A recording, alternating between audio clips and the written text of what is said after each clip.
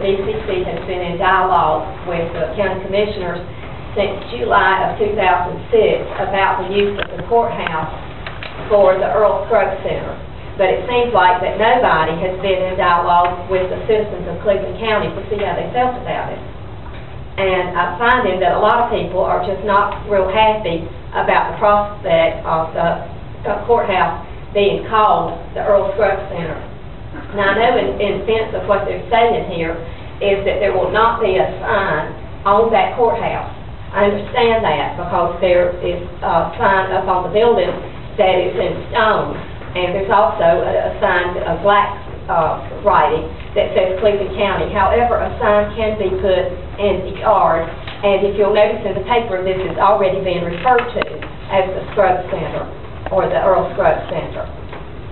Now, I think that we need to kind of recap what we said at last meeting, so we can go back a little bit and see where we got to this point with the courthouse. The Cleveland County Historical Museum was located inside the courthouse since 1976. And they um, had a pretty nice museum. There was a not a lot of money thrown at it, and I think if the kind of money thrown at it would be like the kind of money that they're potentially talking about being thrown at this one, that, that we would have had a much more successful museum. Now, the museum was successful. What happened was the exterior had to have some repairs done to it. So in April of 2004, the building was closed with exterior repairs. Soon after that, the bank notified the county that there seemed to be a little bit of uh, problem with the account. There was something there that was was uh, curious to them that that they wanted the county to check into that maybe some uh, financial wrongdoing was going on.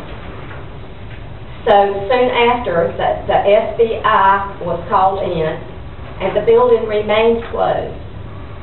Now, they arrested and indicted for embezzlement one of the employees. She's serving time now. And over a five-year period, according to the papers, that she embezzled more than $200,000 She's repaying, I understand, uh, $90,000. She's serving 18 to 24 months. And if there's any further questions, I'm not going into real detail with a lot of things, but, but I can help you further if anybody has further questions about that. But the building remained closed through this. The girl was just sent in September. They held it, I think, for November, and according to the paper in January is now when she served time. So the building is just now to the point of being considered for use for something. And DCC, Destination Cleveland County, is who I'm referring to when I say DCC, came to the county commissioners and asked for permission to use the courthouse for the Earl Scruggs Center. And the commissioners have been entertaining the idea of letting them use the courthouse for this. They have not made a decision. Uh, they did give the county manager and the, and the county attorney permission to draw up a consensual agreement to let them see, that that is as far as it is today. It, they have not committed the building for the Earl Scruggs Center. Now, regardless of what you read in the newspaper or what you read in their marketing and advertising, it is not a done deal until the ink is on the line. So I think we still have time to convince the commissioners that this is not the in the best interest of, the building, the courthouse, our heritage, the people of Cleveland County in any aspect to have our courthouse called the Earl Scruggs Center. Now, how did we get to this point? when the building was closed down, if a building is closed for a year, can't be reopened until it's brought up to code. That building has some issues that do not meet code. Number one, it doesn't have an elevator. Number two, it doesn't have handicap accessory, accessible bathrooms. So these things have got to be done. So last month, the county commissioners allocated one point five million dollars to renovate the interior of the building. This should be enough money to do it. And I say this, if we're paying as taxpayers to have the building renovated, and it's ours, then we should have some say-so as to what is housed in the building. You asked how this building got to this point, I honestly don't know, and I don't want to place blame on anybody. I think that, uh, I know that we have commissioners that oversee the courthouse. I know that we've got a county manager that oversees the courthouse. I know also that we've got a building inspector, and I know that we've got maintenance staff. So somewhere along the line, somebody was not paying attention, and this is how the the courthouse got in the condition that it is. Or this Cleveland County Historical Museum would still be up and running inside this courthouse if it had not gotten into this condition. Now, this girl worked for the Cleveland County Historical Society. The Cleveland County Historical Society uh, hired the help and maintained uh, the building.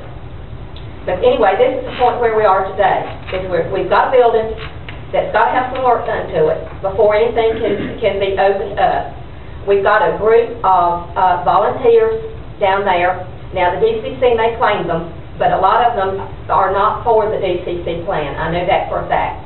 They are Cleveland County citizens that are in there inventorying and getting this stuff ready to be removed for the uh, building to be renovated. And I think all of us applaud them and the work that they're doing. They're doing it as volunteers, they're spending a lot of time. And I want to back up and say one thing here. This county belongs to all of us. We're all citizens of Cleveland County. The DCC, the elected officials, the citizens, we're all in this together. And we got to find something that we can live with and go on down the road as a family. I want to say that I think that all of the elected officials are serving for the right reasons, for the betterment of the community. I think that their hearts are in it, and I think their hearts are in the right place, and they feel like the decisions that they make are in the best interest of all the citizens of Cleveland County. This is a tough job. I would want it, and believe me, it doesn't pay enough and you have a lot of headaches from it, and very little gratitude, actually, on the other end. But there must be some kind of gratification in knowing that you feel like you have done something to serve your fellow man.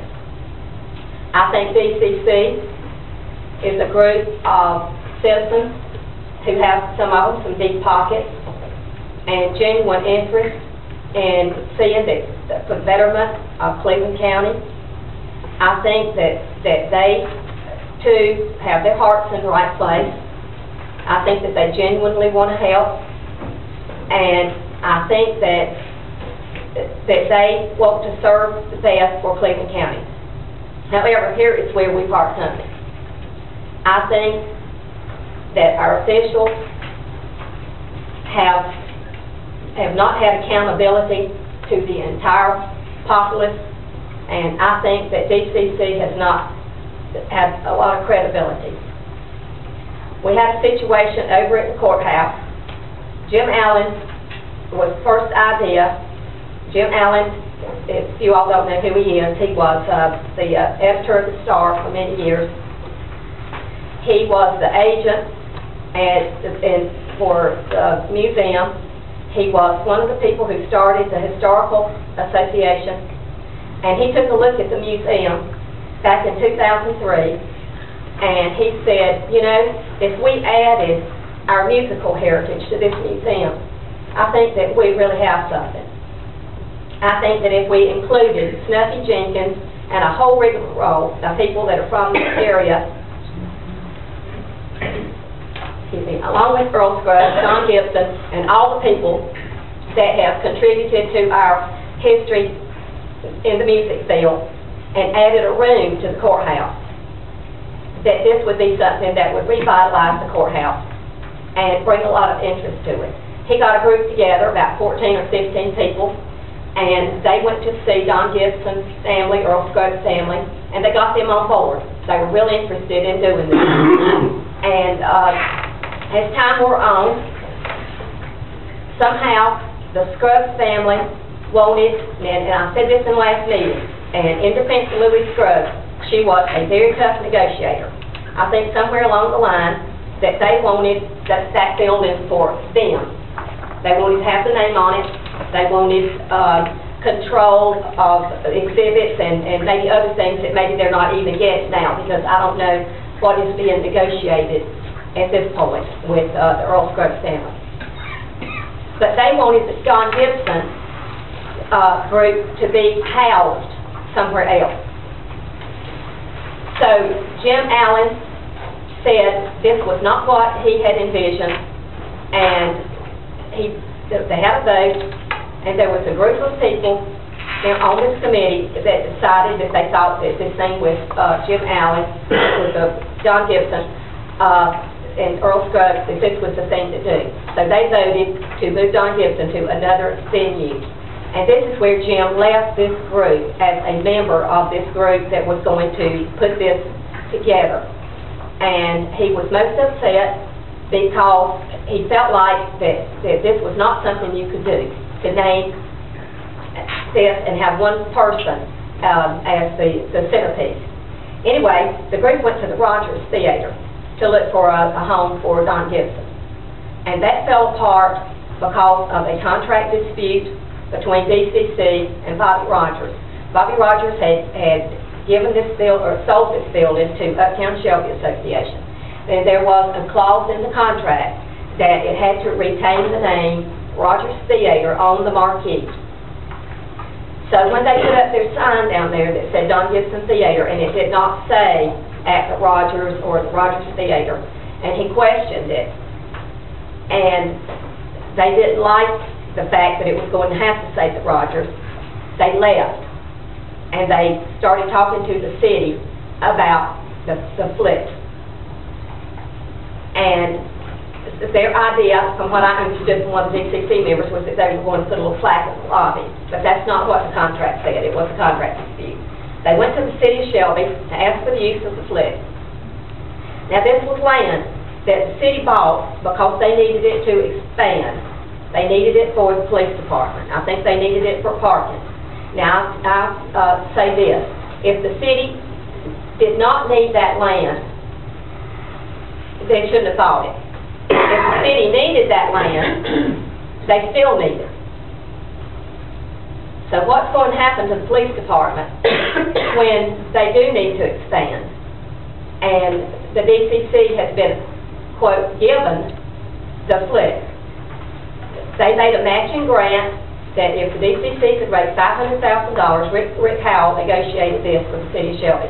If they could raise five hundred thousand dollars, the city would give them a matching grant of five hundred thousand dollars. That building, they, they're leasing it to them for a dollar a year for four years, and then they can buy it at the tax assessed value, which is two hundred and they are going to give them $500,000 if they can raise five hundred. So in other words, they're really giving them the building plus $300,000. Now, this is work, is being worked on right now, the Don Gibson Theater. So that brings us back to where we are at the courthouse.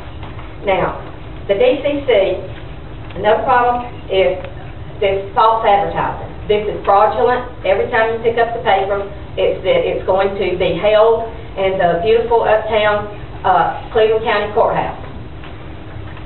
This is uh, not a done deal, and I have spoken with the commissioners about this. Last meeting, and some of you who were here remember, a question was posed to Commissioner Eddie Holbrook about if this was a done deal, and he said, no, it was not a done deal. Then the next question was posed to Johnny Hutchins about why did you all allow them to continue advertising that this was going to be held here? If it, if you hadn't approved it.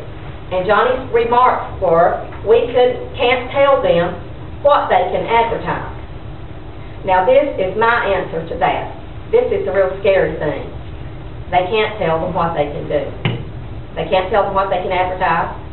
They can't tell them anything because they don't fall under the jurisdiction of the county commissioners.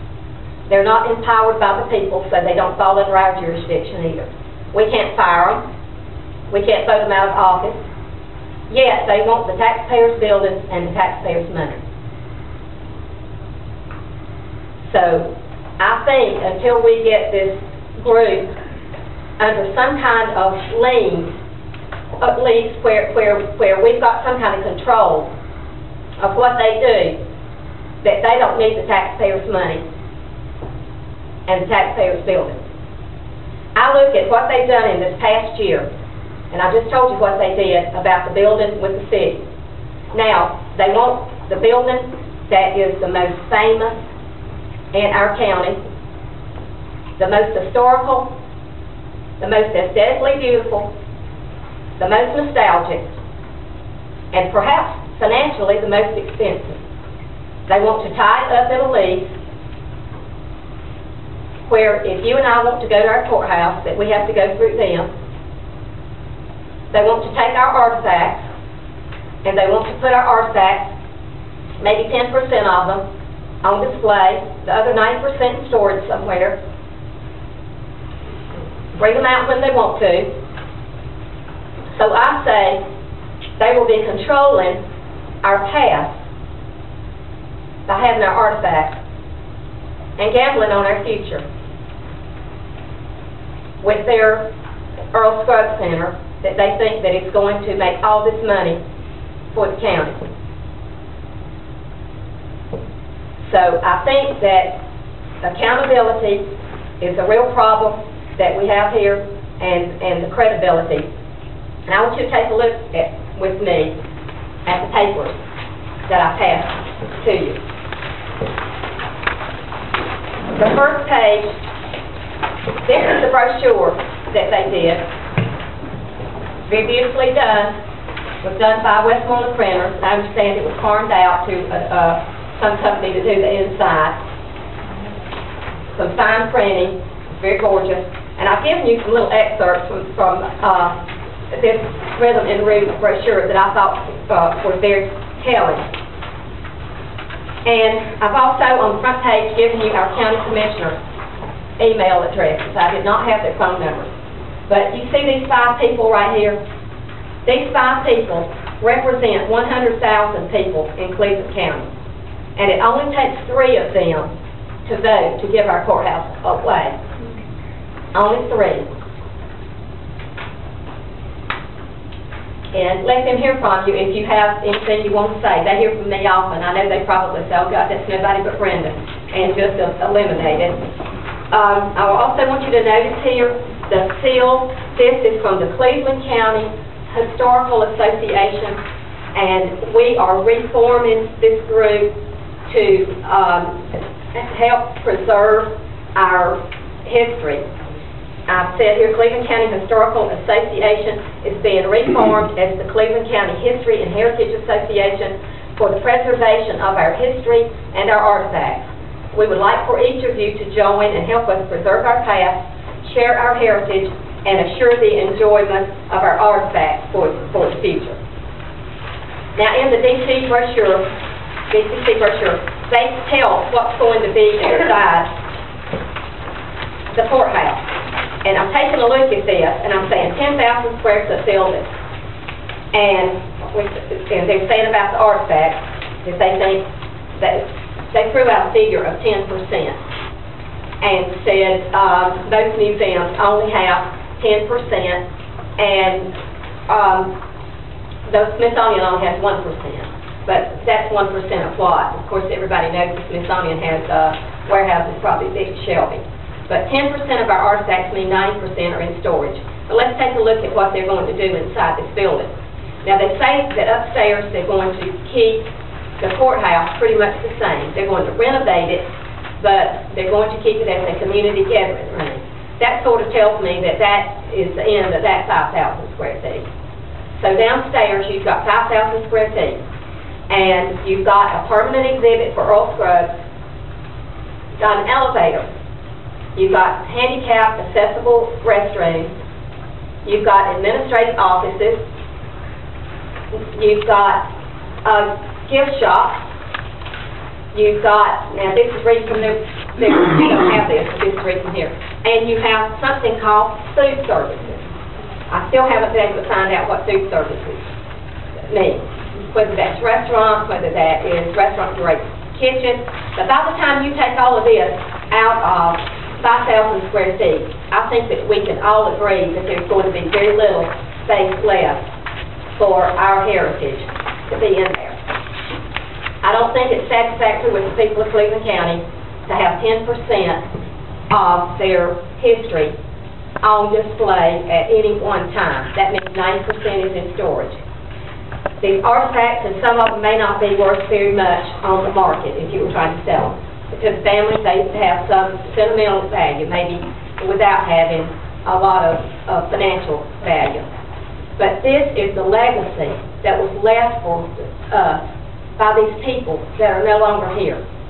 This is all we have of them, and this is our, our torch to carry and pass down to a future generation.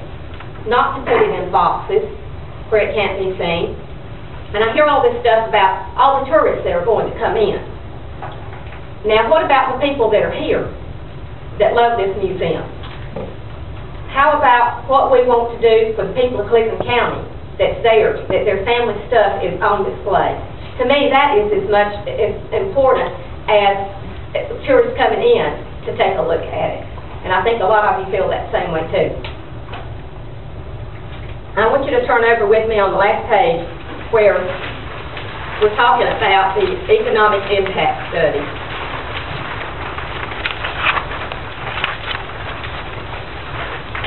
This is where they say that the Roy Hill School Management at Gardner Webb did a study that showed that this was going to, in the next 10 years, the Don Gibson Theater and the Earl Scruggs Center would bring in excess of $200 million. I think in their own, uh, they say 204 million on their website.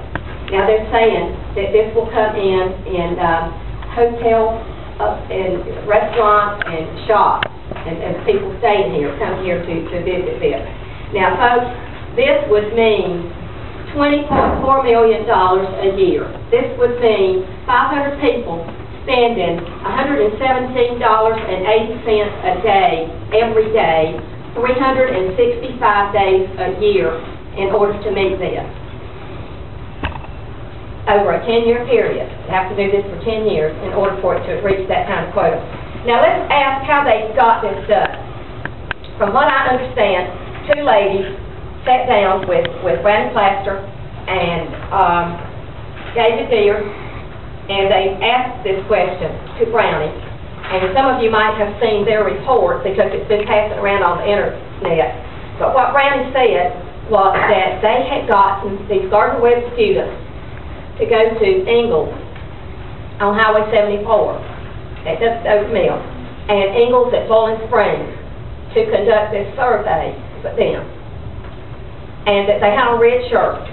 And one of the professors, uh, they called one of the professors and told him that people were acting strange, I believe was their word, uh, about their red shirts. And what should they do?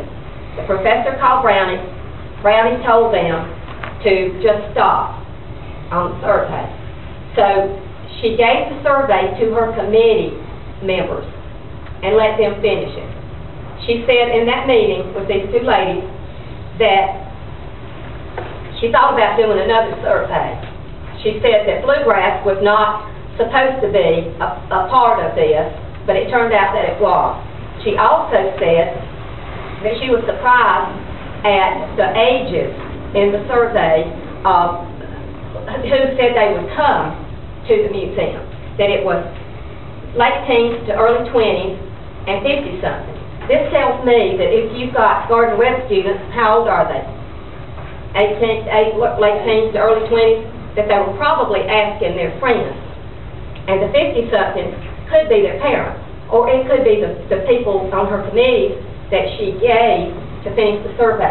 However, I'm speculating, but the bottom line is that this survey is tainted because it was not done by a professional survey company and a disinterested third party. Now, this is what we're basing all this hoopla and doing our courthouse is this economic impact study right here. And that's where it came from. That's where it came from.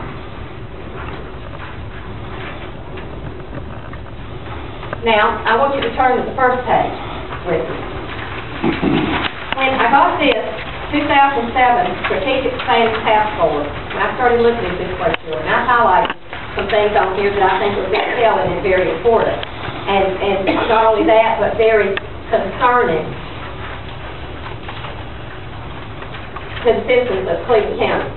I just told you that what we need to pass this is three votes of the county commissioners, out of the five county commissioners. And I looked at this, and on their 2007 Strategic Planning Task Force that developed their five-year plan, I see the three commissioners they need. How is that? And I wonder if they were ever in the same room at a meeting at the same time, because that can't happen. But that bothers me. Now we want to talk about accountability to people. And I also see Eddie Bell, who is our assistant county manager, on there, sitting down, uh, planning for their five years. Vicky Amaya, who was on the city council, he, uh, was voted off this past election, uh, November. Then I see Rick Howell, the city manager. And I look down here and I see our county attorney's wife, Martha Yelton. Now, I say this, if you serve on a committee to plan something, you're not likely to vote against it, if you're in on making the plan. Now, I look down at their board of directors, and I see Earl Scruggs' nephews and, and Earl Scruggs' relatives now, Mar, uh, Brandon tells me that Marta's a cousin. But I see two relatives that are pushing for this, and that looks, you know, about right. I can understand family, wanting the best for family. I do myself. And I see our county manager and our city manager. And now, if you notice, they're ex officio members with voting rights. They can't hold office, but they do have voting rights. But you got your city manager and your county manager on here, and you've got Marta Holden on here, and you've got Jackie Sibley. Now, Marta Holden is, is, uh, the head of the DCC. Jackie Sibley is the head of Cleveland County Tourism. Look at those four folks. Every one of them is on the taxpayer's payroll. All four of them. David Deere, Rick Howell, our city and county manager, Marta Holden is, is hired by the city of Shelby, she's paid by the city of Shelby. Jackie Sibley is paid through tourism, through the chamber, which is funded by the city of Shelby. Now, I, I think you might begin to see where I have a problem with this, and you might too. This is a conflict of interest. How can you vote to, uh, for something and not be influenced by it and biased by it?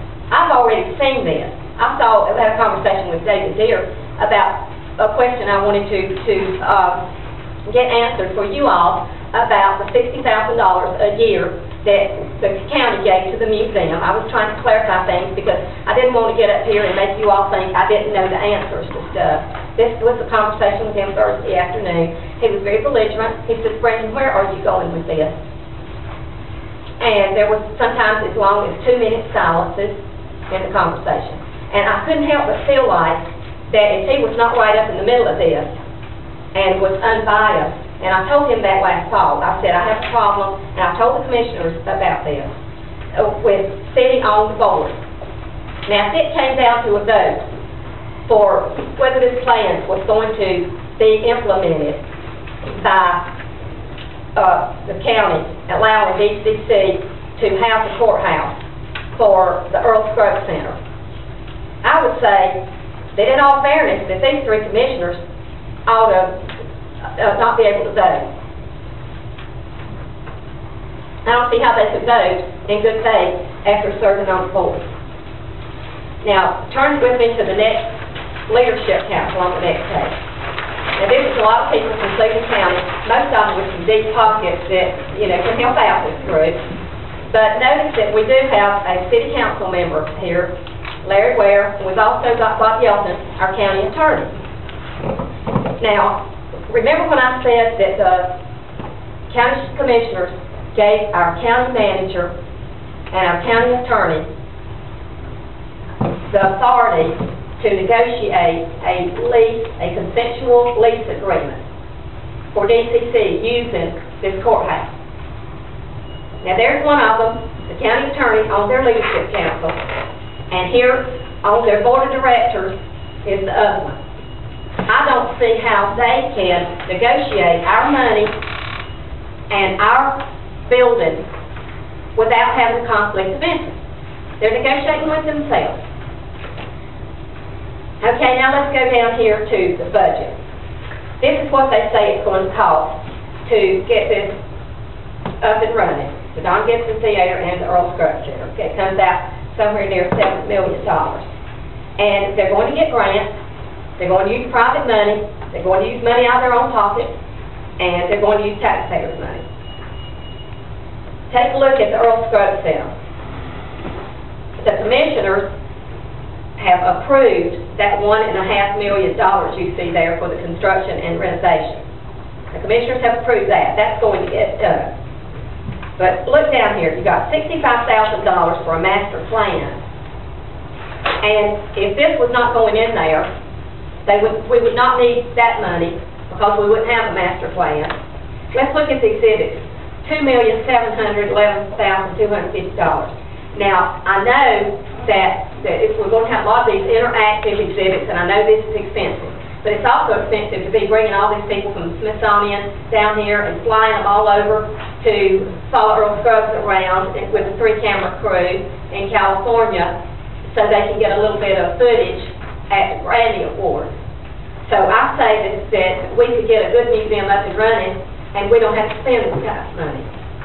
The next thing is, this is really interesting. We got the website design and maintenance. Now, this is thirty thousand dollars. Right now, it's two pages. It was one page. I don't know anything about website design, but from what I hear, that's an awful lot of money. But, look, it's, it's being, marketing, Millennium Marketing is the one who is handling this. And if you look out to the side, this Millennium Marketing that is handling it, is owned by Debbie Clary, our NC House of Representative Debbie Clary, and her nephew, Joseph Hurst. Now, I look at that and I say, why is it that every time I look at their stuff, our public officials keep popping up? Could there be some reason that all these public officials are on here? Now, the next thing is the pre-opening, the grand opening, and marketing, $275,000. If we weren't pre-opening, grand opening, and all this, we wouldn't need that money. Folks, I think we could renovate this courthouse for that million and a half. I think we could get it up and running, and I think we could have ourselves a nice museum. Now, we, we can get grants, and I have somebody back in the back that has done this before, I believe, that will tell you how to do it. And then last but not least, we've got these testimonials over here where everybody's endorsing it. Now, I'd like you to, to take the time right now before we talk and look at this video. Beautifully done. Only eight minutes long. It was done by, um, Channel 33, and I commend Greg on it because it's, it's uh, a wonderful piece of work. But I want you to look at, uh, this is what they are, uh, using as their selling tool. Yeah, oh, I'm sorry. Oh, I thought I was just dealing here.